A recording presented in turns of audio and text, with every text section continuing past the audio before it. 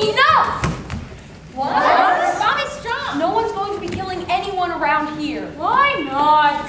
Because she's our security blanket, that's why. But we're so afraid, Bobby. Killing Hope might make us feel powerful for a moment. Friends, I know you're afraid, but this has got to be about more than just revenge and the vicarious thrill of stringing up someone who can't defend herself. But why? We want to hang her as revenge for her father's crime.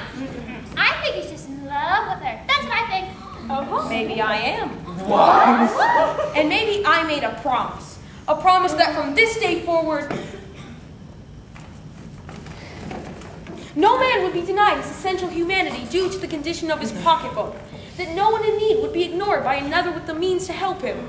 Here and now, from this day forward, because of you, and you, and you, we will look into the faces of our fellow men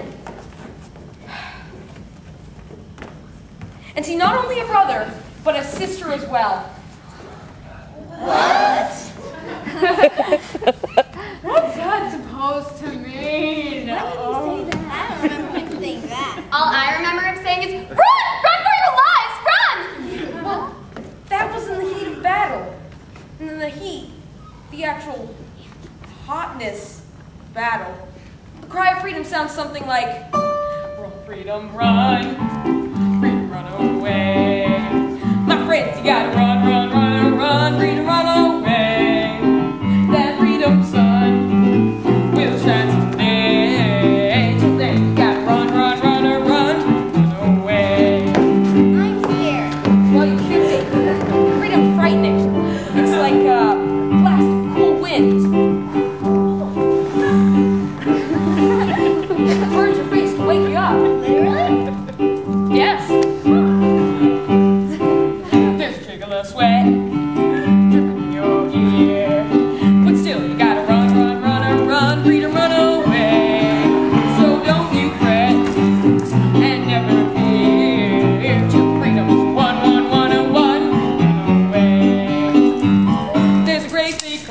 on your tail. Run, freedom, run. And put his henchman on your trail. Run, freedom, run. I'm simply laying out the facts. Ain't no time relax. Run, freedom, run. Run. Freedom, run. Run, freedom, run. Freedom, run away. Freedom, run away.